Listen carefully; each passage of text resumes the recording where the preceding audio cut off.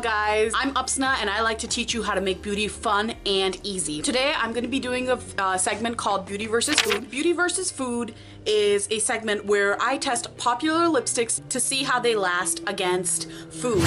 Today we are going to be testing the Fenty Beauty lip paint in uncensored and then we are going to test it against some delicious yet greasy Chinese food to see how well this lasts. As usual the rules are no special tricks so no powder and no tissues. I did this the first time with the powder and the tissues so that's why I am retesting this lipstick again. Second rule is no lip liners because the lip liners tend to muddy up the results. So it is just one coat of this lip paint and we're gonna test it out to see how it works out. So let's get right into it.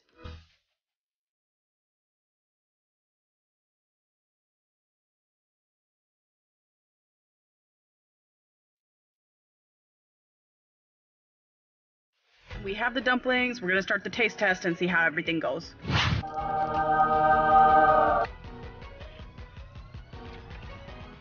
Okay, first taste. And let's zoom into the lips to see. Okay, looks pretty good. As usual, we're gonna go in for the entire dumpling, aka the entire dish that we are trying out to see how it lasts. Look at that dumpling. These are different than any dumplings that I've had. Mm, All right, that's actually been one and a half dumplings. Let's get a little better lighting. Let's get a little more zoom. Wow.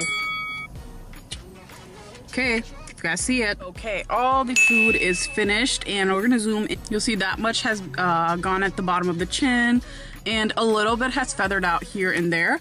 But overall, it's really not that bad. It's actually really, really strong and those things were really greasy and really, really slippery. Okay guys, so I am outside in natural light here in the sunlight and this lipstick performed extremely, extremely well.